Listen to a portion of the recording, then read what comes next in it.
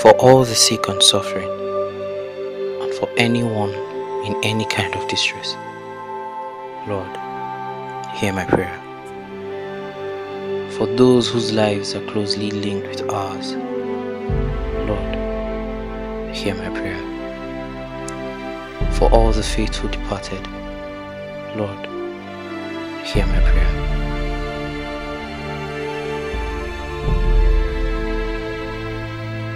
And for all soon to depart, all soon to depart. The woman in there is my mother. According to the doctor, she might not make the night. I have come to say my goodbye. It's a parting gift.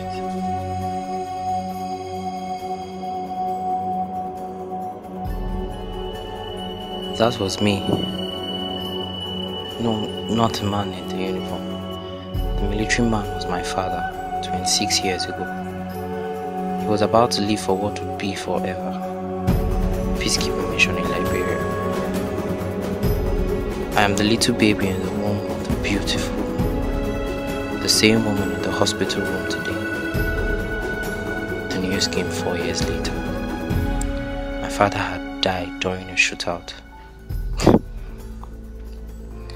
Mother wept for months, and then slowly the pain passed for her. Or so I thought. Until she began to call me by my father's name, Chigozie, and look at me like she would her lover. Then one day, at 14, I had had enough.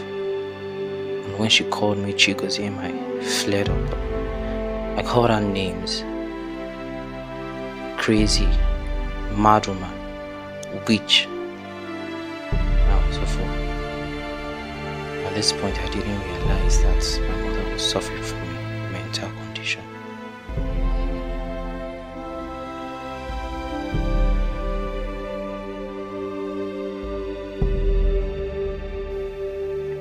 Three years ago, I was tired of her and I brought her to this hospital. And she was diagnosed with schizophrenia and an associated cardiovascular disease. I should have sought help when she had started showing signs. I should have known better.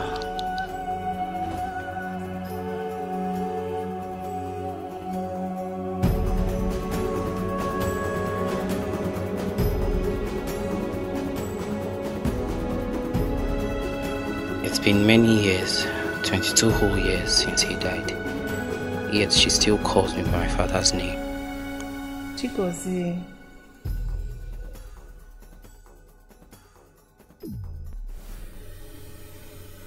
Is that you?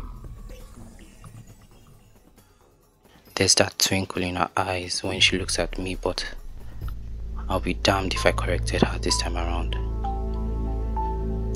Tonight, I am Chigozie. Can be Dubem for the rest of my life, but tonight, let me be her Chigozie.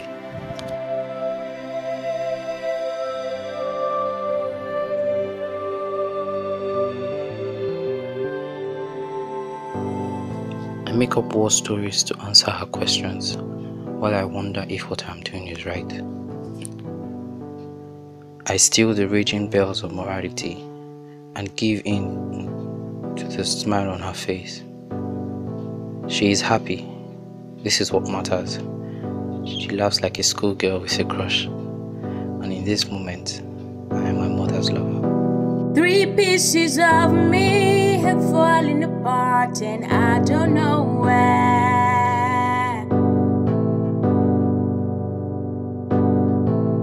I have tried retracing my steps, but I get lost on the way again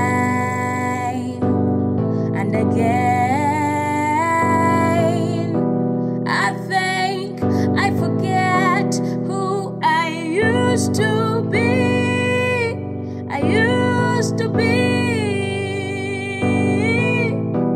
my glory, my ability, you know that mattered to me.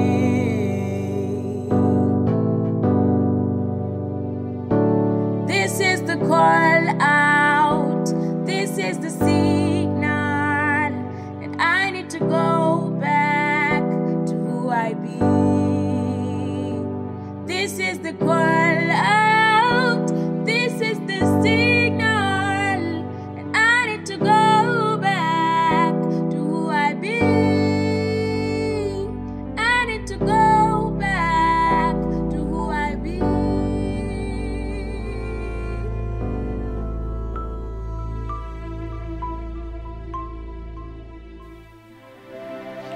She tells me I haven't aged a bit.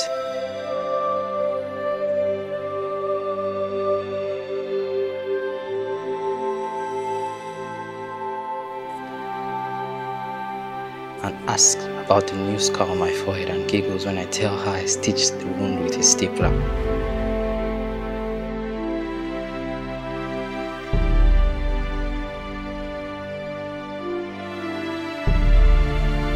She speaks about her little boy, Dubemo has now become a man.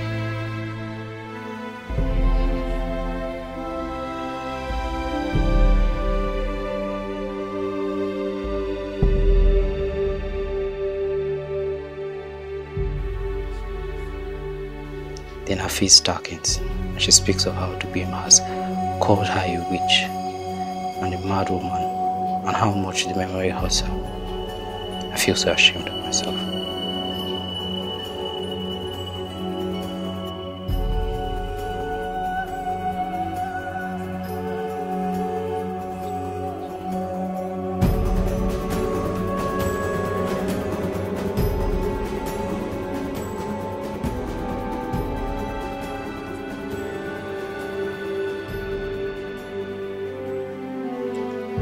She asks why I took so long to come and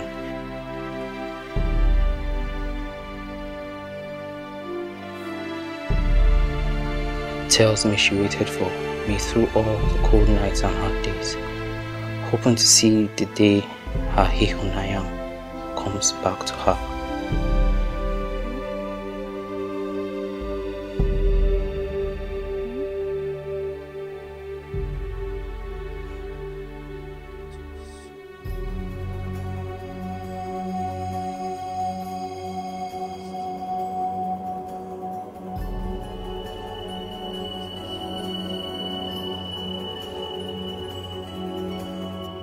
Then she asks me to kiss her. It is an order, almost. I, I, I panic. I don't know what I'm doing anymore. She draws close to me and says she has waited for this for years. Then I shut my eyes and my fears with them. And then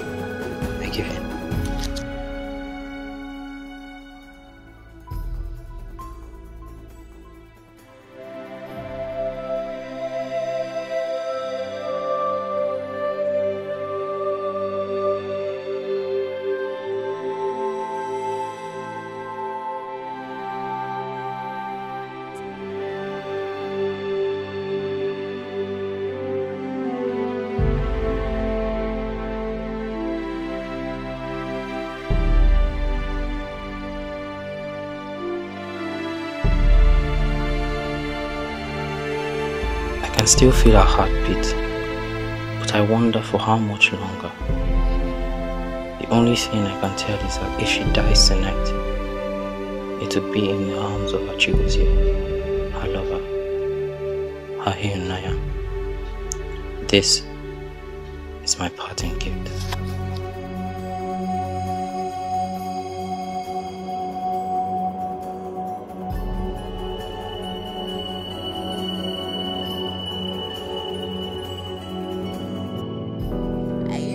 Spin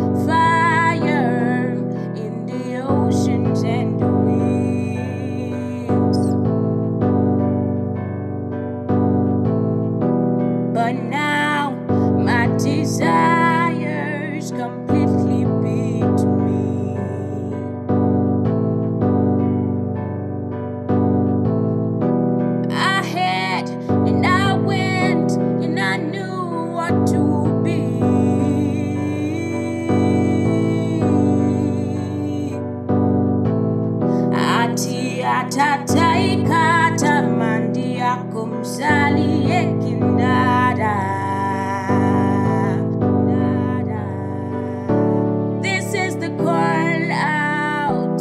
This is the signal.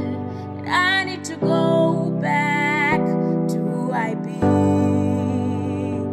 This is the call